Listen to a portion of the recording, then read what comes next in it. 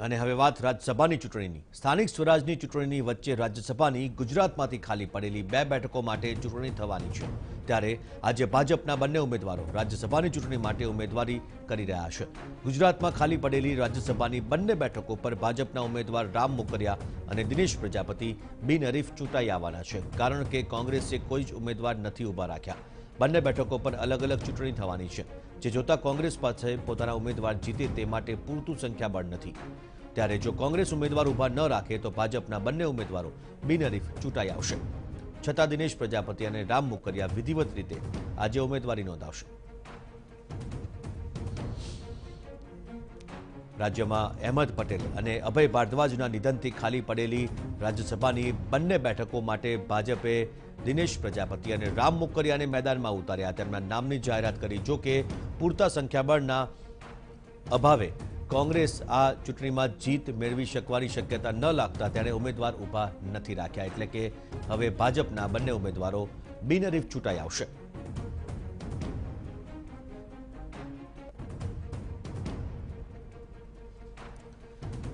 તો આજે ગાંધીનગર ખાતે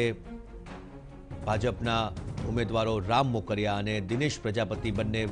ઉમેદવારી પત્ર ભરવા માટે પહોંચ્યા છે આમ તો આ બેઠક કોંગ્રેસના ઉમેદવાર ન ઊભા રાખવાથી બિનહરીફ થવાની છે આમ છતાં પણ વિધિવત રીતે આ બંને ઉમેદવારો આજે ફોર્મ ભરશે અને ત્યારબાદ ચૂંટણી અધિકારી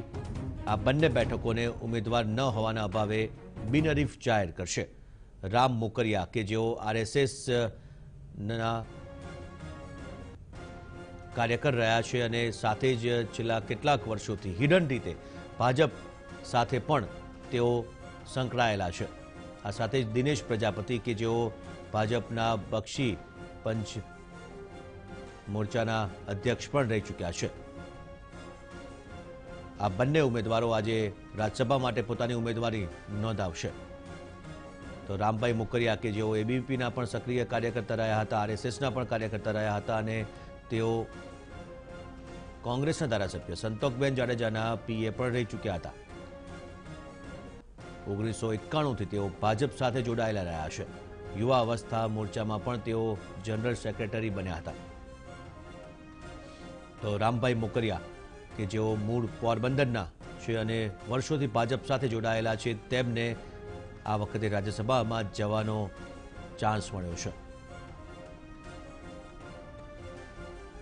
તો આજ વિશે વધુ જાણકારી આપવા જોડાયા છે સંવાદદાતા નિર્મલ દવે. નિર્મલ, બંને ભાજપના ઉમેદવારો આજે ઉમેદવારી ફોર્મ ભરી રહ્યા છે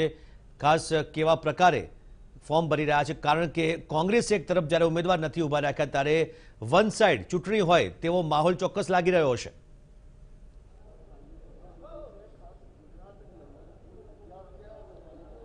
બિલકુલ અ, અ, રામભાઈ મોકરિયા અને દિનેશ પ્રજાપતિ બંને હવે થોડીક જ ક્ષણોમાં ફોર્મ ભરવાની તૈયારી છે અને અ, અ, અ, પ્રદેશ અધ્યક્ષ સી આર પાટીલ દ્વારા તેમને મેન્ડેટ પણ આપી દેવામાં આવ્યા છે થોડીક જ ક્ષણોમાં આ બંને જે ઉમેદવારો છે તેઓ ભાજપ તરફથી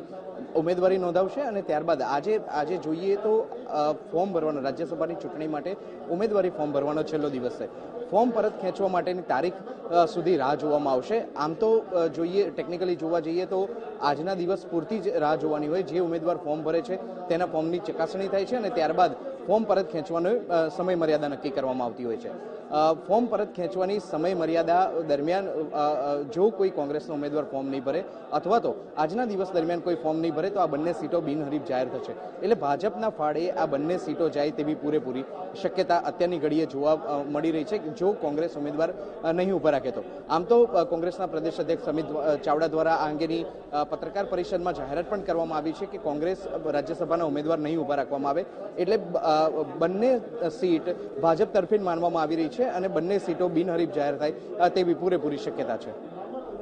આભાર નિર્મલ સમગ્ર જાણકારી બદલ તો બંને બેઠકો રાજ્યસભાની